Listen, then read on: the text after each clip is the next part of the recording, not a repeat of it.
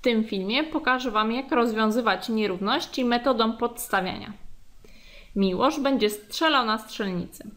Za każde trafienie dostanie dwie monety. Wejście do gry kosztuje 5 monet. Aby Miłosz zyskał na tej grze, musi spełnić następującą nierówność, gdzie t to jest liczba trafień. 2 razy t odjąć 5 musi być większe od zera. W której sytuacji Miłosz zyska na tej grze? Wybierz wszystkie, które odpowiadają. A trafi jeden raz, B trafi dwa razy, C trafi trzy razy, D trafi sześć razy. Przyjrzyjmy się tej nierówności. 2t odjąć 5 ma być większe od zera. 2t to ilość monet, które otrzymamy.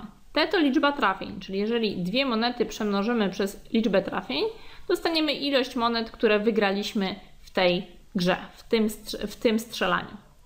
Jeżeli teraz od 2t odejmiemy 5, dlatego 5, ponieważ wejście do gry kosztuje te 5 monet, żebyśmy zyskali, wszystko musi być większe od zera. Czyli chcemy, żeby nam coś zostało w kieszeni. Tak naprawdę musimy wygrać więcej niż 5 monet, żeby ta nierówność była spełniona. Sprawdźmy, które odpowiedzi będą nam pasowały. T to jest liczba trafień. T to liczba trafień. I tu mamy przykładowe wartości T. T to jest trafi jeden raz, T trafi dwa razy, trzy razy, sześć razy. T równe 1. Sprawdźmy. A. T równe 1. Wstawiamy do tej nierówności. 2 razy T, czyli w tym wypadku razy 1, odjąć 5. Ile to będzie równe? 2 odjąć 5 to jest równe minus 3. Minus 3 nie jest większe od zera, czyli jeżeli Miłosz trafi jeden raz na strzelnicy, straci pieniądze. Czyli to nie jest poprawna odpowiedź. Idziemy dalej. B.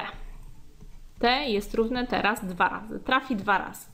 Wstawiamy do nierówności. 2 razy 2 odjąć 5. Ile to będzie równe? 2 razy 2 to jest 4, odjąć 5. I tutaj myślę, że też już wie, że to jest minus 1.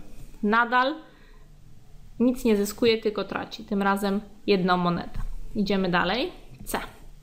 T równa się 3 razy, czyli trafił 3 razy. Podstawiamy T równe 3 do nierówności. Mamy 2 razy 3, odjąć 5. 2 razy 3 to jest równe 6. 6 odjąć 5 to jest równe 1. 1 jest większy od 0, czyli to pasuje. Jeżeli trafi 3 razy, to zyska jedną monetę, mimo że będzie musiał wpłacić, aby zagrać w tej grze 5 monet. I idziemy dalej. T równa się 6. 2 razy 6 wstawiamy do nierówności, odjąć 5. 2 razy 6 to jest równe 12. 12 odjąć 5. 12 odjąć 5 to jest równe 7. To też jest większe od 0.